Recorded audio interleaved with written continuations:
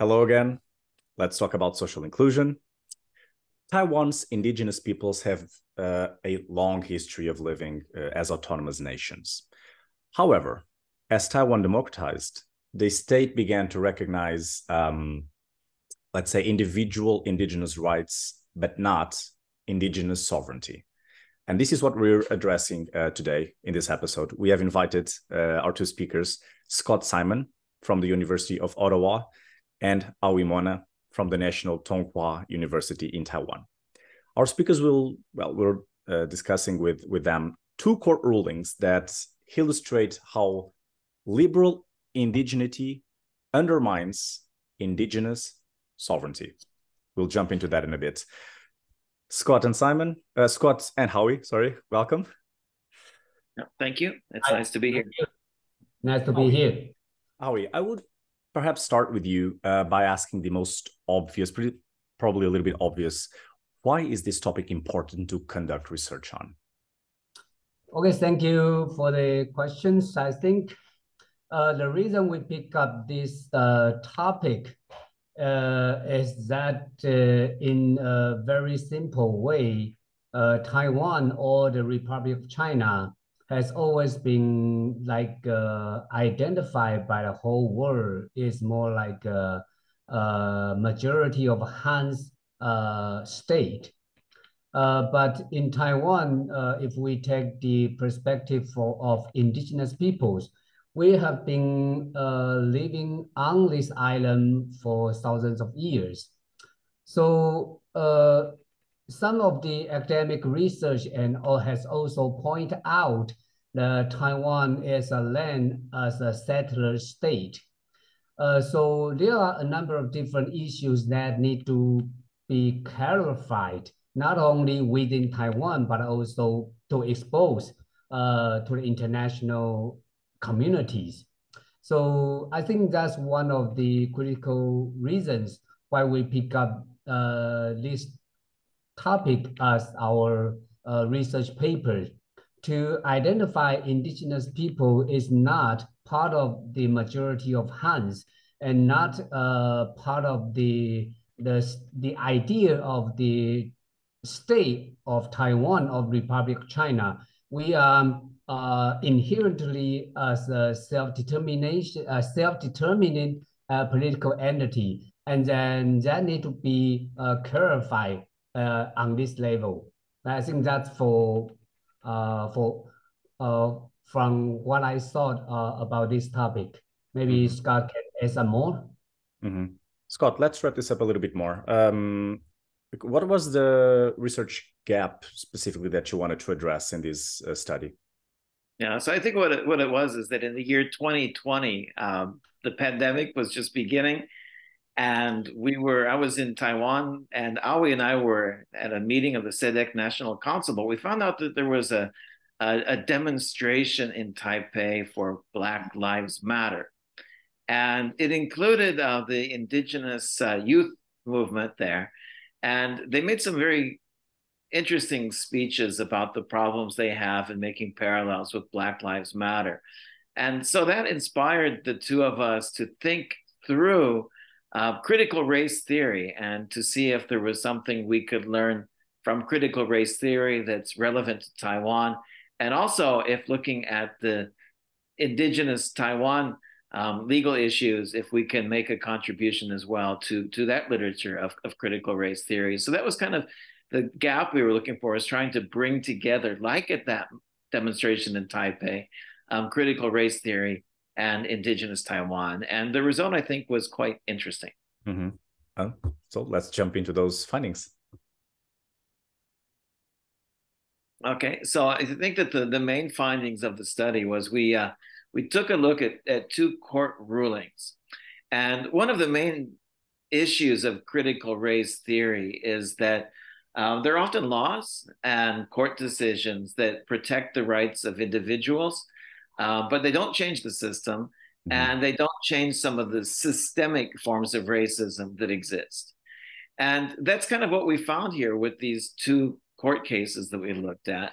Um, the first is one that I that we have both looked at intensely for a long time, and it was, of course, about it was a, a case about an indigenous hunter um, who had been arrested, um, found guilty, um, and and charged with illegally possessing a hunting rifle that was not because the, the rule is in Taiwan, indigenous people can hunt, but they have to make their own rifles. And so he had a, a rifle that was just a little bit too advanced. Um, and he also had failed to register with the authorities according to law, um, which says that they have to register where and when they're going to hunt, what they're going to catch. And hunters know that's impossible. Animals don't make uh, appointments with them. Um, and so basically, the, the court ruled that the laws are, are another thing, it was also charged with taking endangered species. Hmm. And so the court basically ruled that the laws that limit hunting are reasonable um, that they can limit the species, so they're not permitted to hunt endangered species or any kind of um, limited species, and they have to follow the rules about registration. Um, but the rules about the guns, they have to be made clear. So it's not changing the law at all. It's just asking them to make them a bit clearer and easier to follow. Mm-hmm. Um, it's a question of proportionality. Okay. And then the second one was about about whether or not um, children born of a Han or a non-indigenous and an indigenous parent um, would be able to have indigenous status if they use the non-indigenous name. Uh, the law until then had said you have to use the indigenous name to get status, and they decided that's an individual choice whether you use your your Han Chinese name, which I think the fathers would like them to do if the father is Chinese, um, or not. And so the court decided it's an individual decision.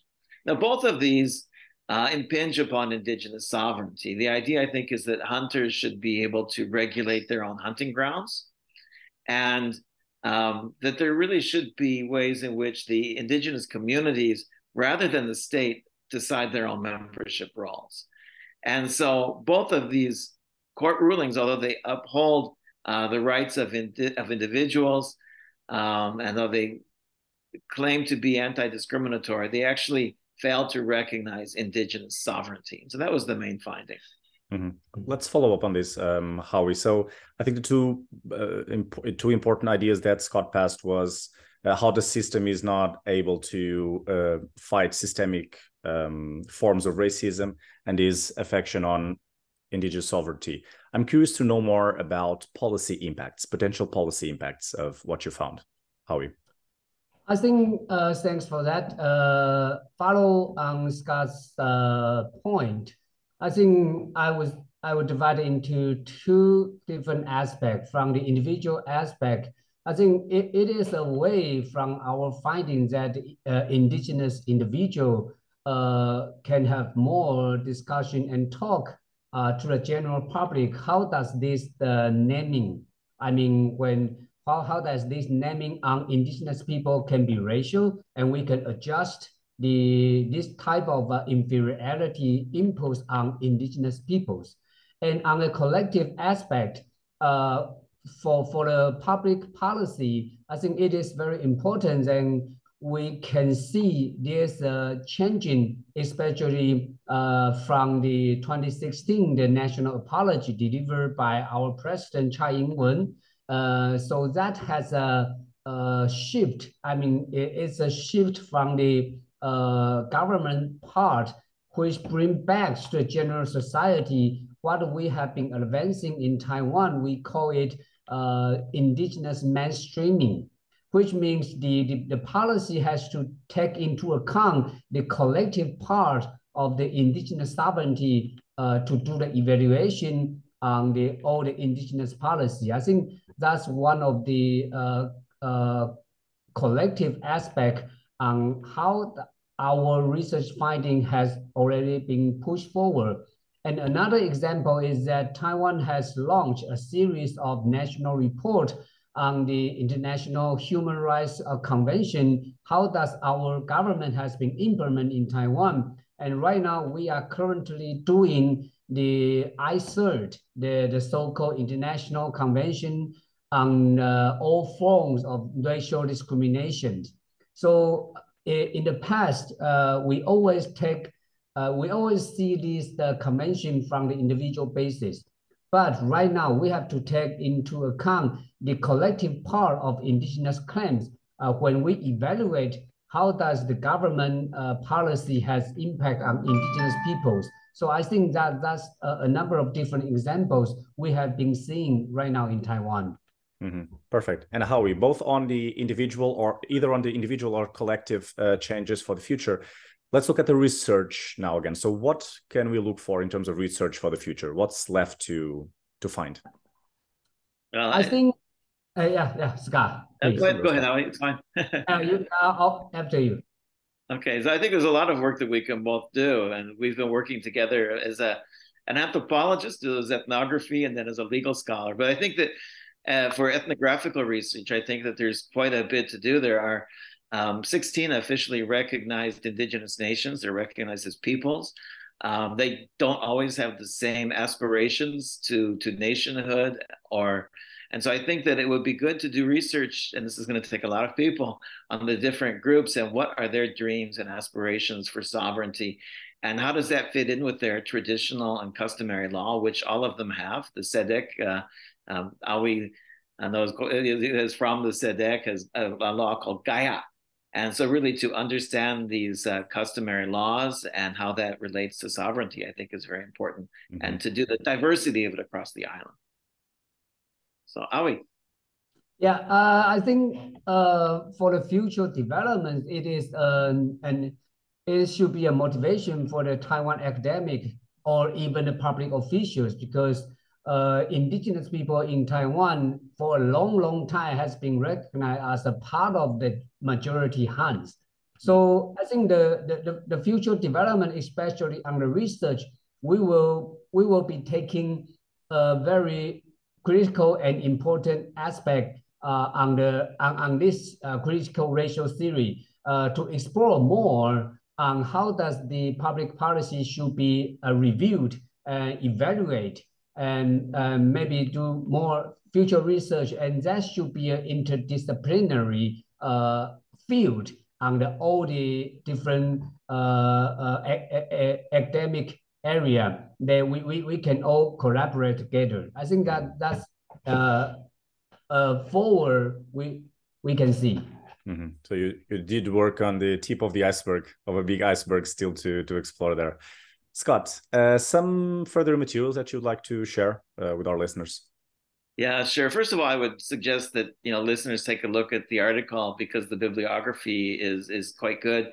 Awi Mona's essay that's in there is, I think, a very important touchstone article. Um, and I think that the idea that the doctrine of discovery uh, applies also to to Taiwan is something that's important there. Mm-hmm. Um, if I can do some self promotion, I also in this in this year have published a book with the University of Toronto Press. It's called Truly Human Indigeneity and Indigenous Resurgence on Formosa.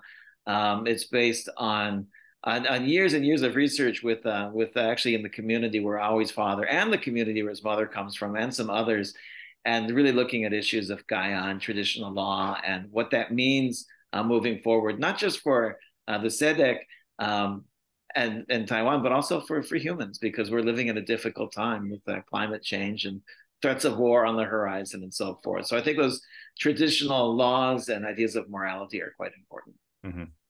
Scott, this has been um, quite a straight on point episode. Uh, I'm sure our listeners will agree on that. But I will ask you to close this episode with a punchline in one, two sentences to wrap up this whole conversation. What would it be? Yeah, for me, it would be to remember that indigenous peoples exist in many parts of the world, not just in the paradigmatic cases of the US, Canada, and Australia, New Zealand, but Taiwan also has indigenous peoples who were there thousands of years before any state ever controlled this island, long before any Chinese or Japanese or any outsiders like the Dutch and the Spanish were there. So I think that's the important takeaway. Mm-hmm. They're indigenous peoples on the island and they're there to stay. Perfect. Straight to the point. Scott, Awi, thank you very much for this episode. Good. Thank, Thank you. you very much. To our listeners, if you are watching us on YouTube, you can find all the resources that Scott mentioned and the article by Scott and Awi um, in Let's Talk About Social Inclusion website. Everything is there for you to access, free, um, totally open access. You can also also listen to this episode wherever you get your podcast. You can subscribe to our newsletter and you can follow us on Twitter at Cogitatio LTA.